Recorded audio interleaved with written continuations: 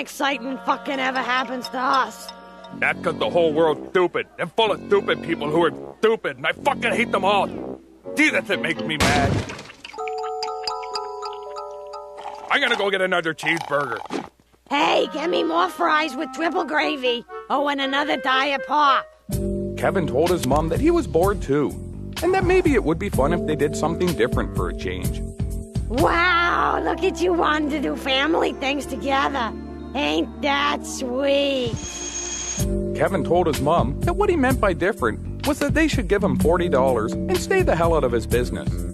Look, I don't want to bust your dreams or nothing, but the only thing I ever intended on giving you was life. And since you've already got that, then you can put a lid on it and forget getting anything else ever. Did you growing the fucking potatoes back there, Earthhole?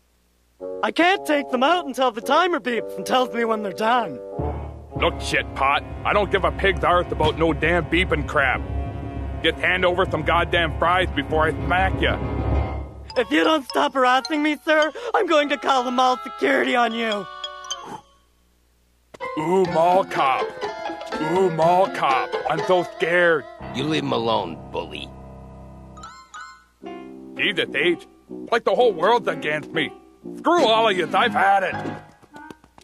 Hey, where's my fries at? Screw the fries. Screw society. Screw everything. We're leaving it all behind.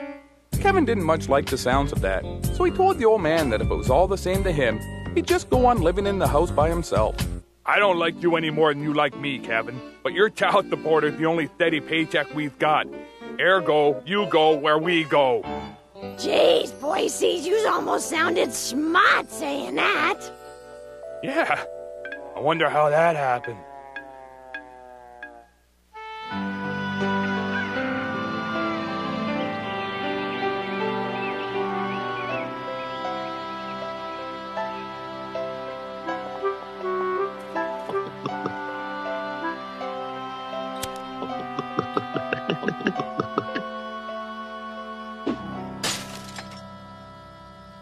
Shit, that means we've got to move all this shit back into the house. Fuck it. Garbage men will get it. That's their fucking job. Besides, who cares? We're getting the hell out of this country for good. Too many of them stupid fucking dumb stupids running around doing dumb things. Fuck, they just keep pushing my buttons. I swear to God, one of these days. Ah!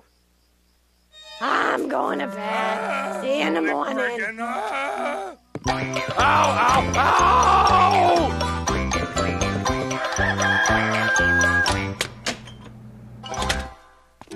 Thought it was nice of his mom to remember to bring him the milk, but he didn't bother to tell her. How's your hand? Swelling's going down. Kevin told the old man that his hand didn't look so good and that he should probably see a doctor. Breakfast of champions, eh, boy? Doctors. Them people don't know shit. They's all just looking to screw hardworking folks like you and me out of our dough. College educated bastard. Geez, that burns my ass. I mean, just one. Oh! Yoinks! That's it. The Spencers are getting the fuck out of this country. But we ain't got no money. You leave that up to me.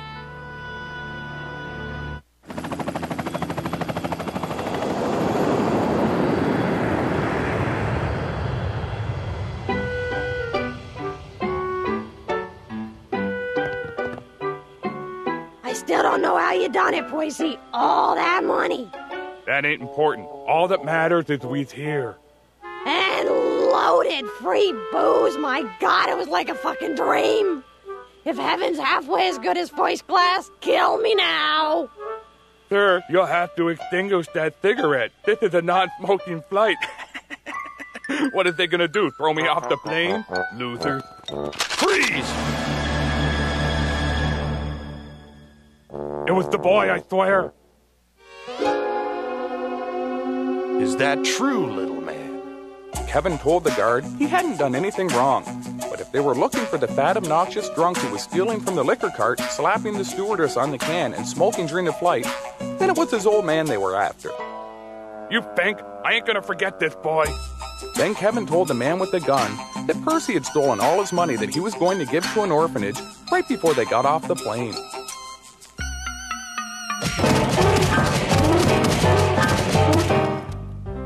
You go, you great, noble humanitarian. Kevin thanked the guard for getting his cash. Then he asked him why he and the others spoke perfect English, even though they all lived in Chile. Um, uh, well, look, kid, we're kind of busy here. Scram.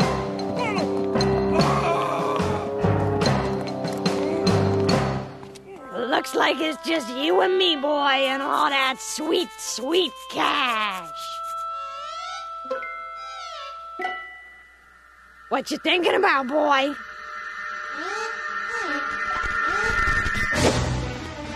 You little prick, you get back here this instant!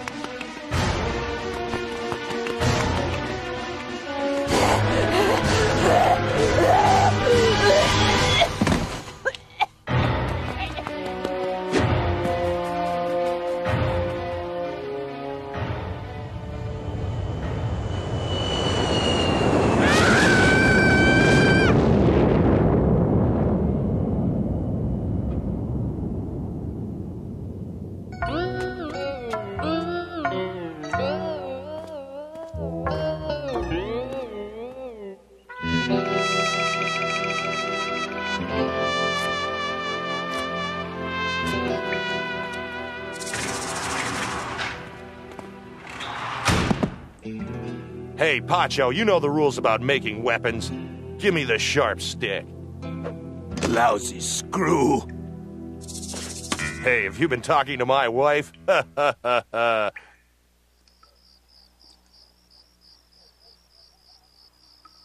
Eh, it's funny because I'm I'm not good at fucking. Whoa, tough room.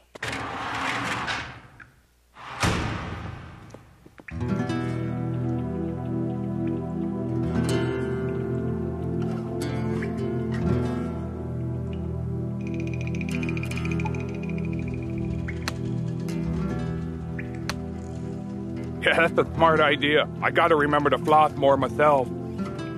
Who are you? Percy B. Spencer. Who are you? Why are you here? Just 'cause I smoked on a plane and accidentally bumped into the stewardess with my crotch a couple of times. Okay, seven. But I was pretty loaded and we was up real high, so I don't think my brain was getting as much oxygen as it needed. And then my kid. And let me tell you, that little asshole is a real piece of fucking work. Little shit sets me up. Lies, lies, lies. I swear to God, if I ever get my hands on that little. Oh! It occurs to me that you may be a very stupid man. You don't know the half of it, pal. You may prove to be useful yet. It's bad change. It's bad change, hey? Help a lady out. Bad change. I'm stranded tourist. Spare change. Fuck all of yous, you hear me? Each and every last one of you bastards can go straight to hell. To hell. To hell. Oh well, that's just fucking perfect.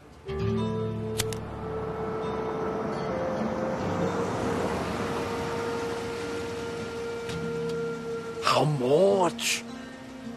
Come again? Don't you know? How much for you? Leave me alone, freak. Come on, how much? Fine, maybe this'll get rid of you. I'll bone yous for a thousand. Deal. Hop in. Holy shit! A thousand bucks? What an idiot! You've got a spring for the room, too. Something classy with a wet bar and its own shitter.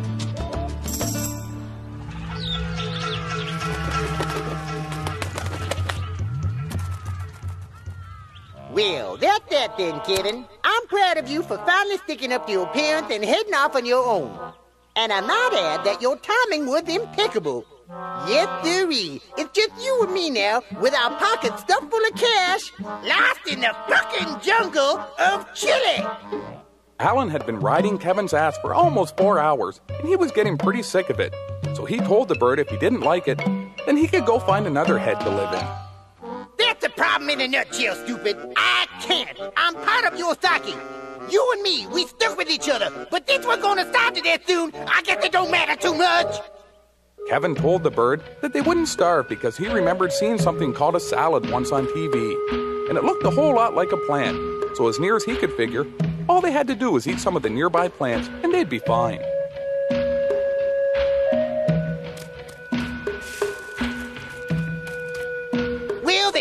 About you start eating already? The bird's getting dizzy.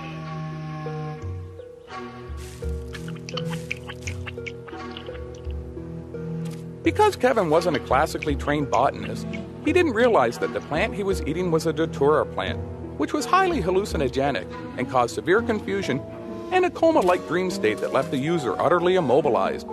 The sad part was that even if he was a classically trained botanist, he still would have picked the same plant.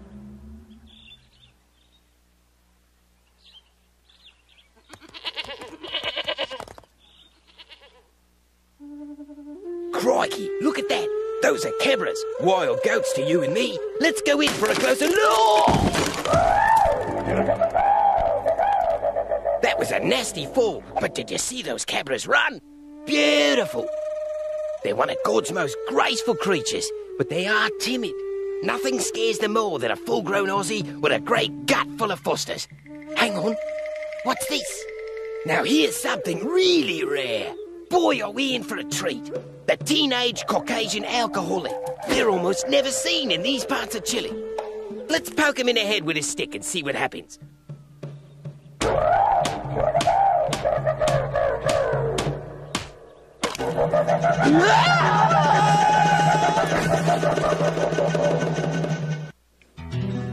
Gentlemen, I'd like you to meet my new cellmate, Percy Spencer. He's going to help us out with a little problem we have. How's it going, eh? Hey, you guys got any extra smokes? Pacho, is it wise to bring in another this late in the game? We have no choice. No, no. I know but this, this man, this new cellmate of yours. He is fat and stupid, no? And he is an outsider. He doesn't know the ways of our country. Shh! Keep your voice down. He speaks English. Look, don't sweat it, fellas. I've probably broken more laws than all you guys combined. Come with us, Mr. Spencer. There's something we have to show you. Hang on. The last time I was in the joint, some guy said that exact same thing to me, and I ended up. You know. Rest assured, Percy, even if my friends and I were the type of men to engage in such activities, we wouldn't choose you. You are too fat and ugly and unwashed. And don't forget it. How much for a room? 20,000 a night. What? For $20,000, I could buy this fucking dump. Yes, you could, but this is Chile and it is 20,000 pesos a night. You see, 500 of our pesos equals only one of your Canadian dollars. So you see, our prices are the best deal in town. I hate to break it to you, pal, but I just gave away the best deal in town. What the fuck am I gonna do now? I ain't got enough money. My kid run off. My fat prick of a husband's in jail. I'm stranded. You gotta help me, mister. I am afraid there is nothing I can do. Now, please, if you do not possess the means to stay at our fine establishment, then go. Cocksucker!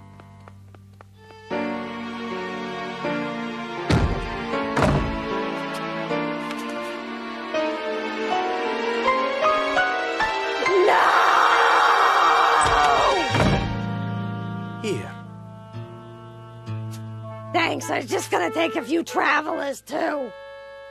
My name is Merv. You don't look like no wife.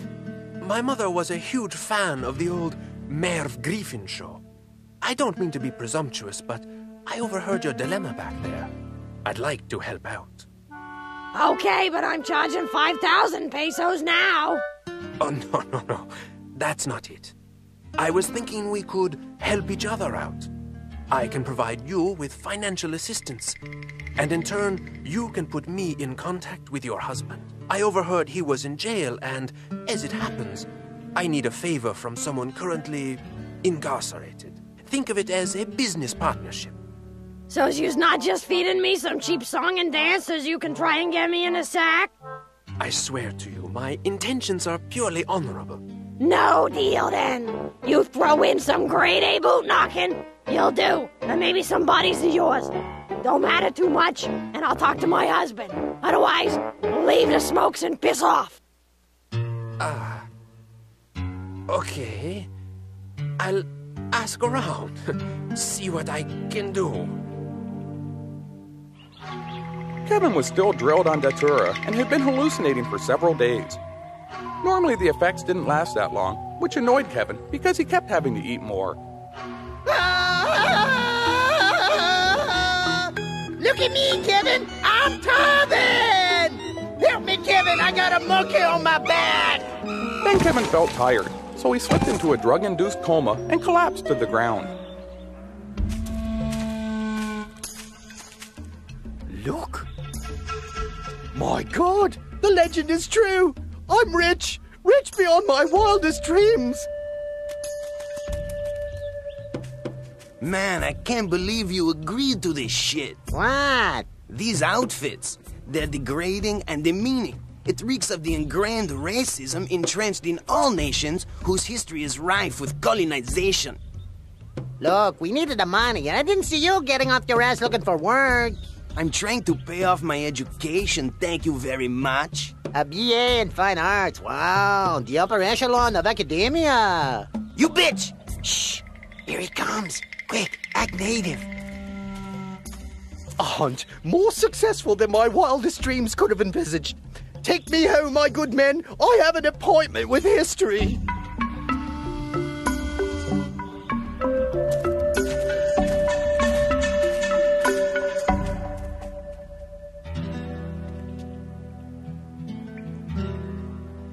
Tunnel is accessible through the floor of the confessional. Check. The guards allow us 30 minutes a day to honor our god. Check. We need you to go first. Why me? That way you can check if the coast is clear. See, they won't shoot you because you're new here. If you get caught, all you have to do is play dumb and say you didn't know it was against the rules to dig a tunnel. If we tried that, then they'd just shoot us on the spot because we've been here so long, there's no way we wouldn't know about the tunnel rule. Well, that makes sense. Okay, I'll do it. You're a good man, Percy. Thanks. You guys are all right. Well, we're all going to stay a while and pray, Percy. Why don't you head back to your cell?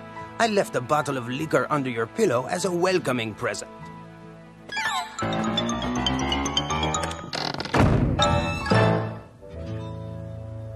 Can he really be that stupid? Well, that scratched the itch. Now let's get down to business. I need you to get a hold of your husband. Some former co-workers of mine are serving time in the same prison. They are planning an escape. What, and they're short one fat drunk to pull it off? No, I need one fat drunk to make sure they never get out. I wish to double-cross them and keep the money we stole together for myself. Here's how it has to go down. First, he must talk to the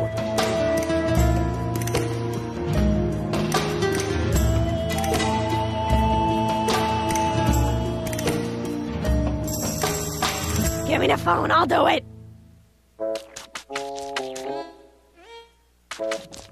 Call this number.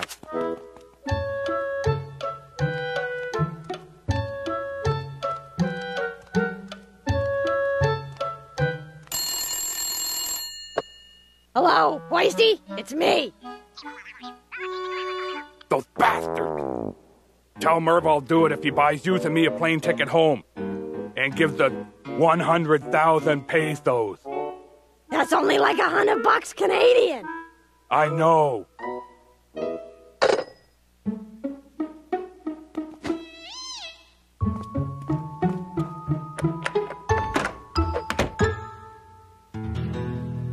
Percy should be on his way by now. Here's your plane tickets and the money. As soon as your husband appears, we go. I'll drop you off a few miles down the road. Another driver will pick you up and take you to the airport. Hey, just want to have a go while we're waiting? No.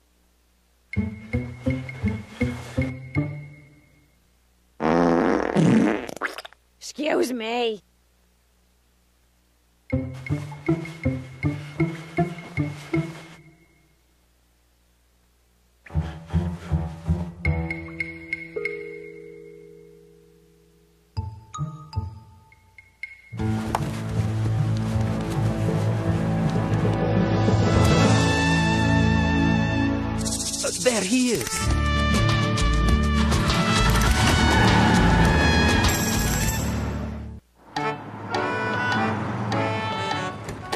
$85? What a fucking jip. I told you you should ask for more. Hey, look at the boy. Oh, yeah, I was wondering what happened to him.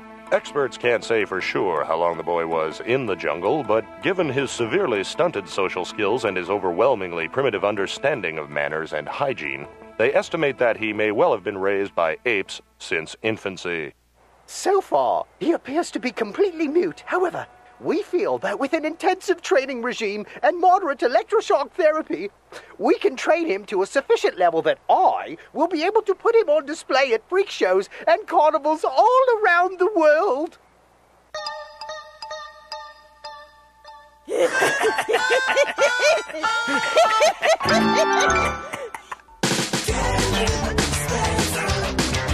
With that kid.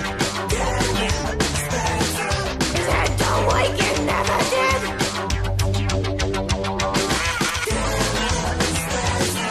You better not cross his path.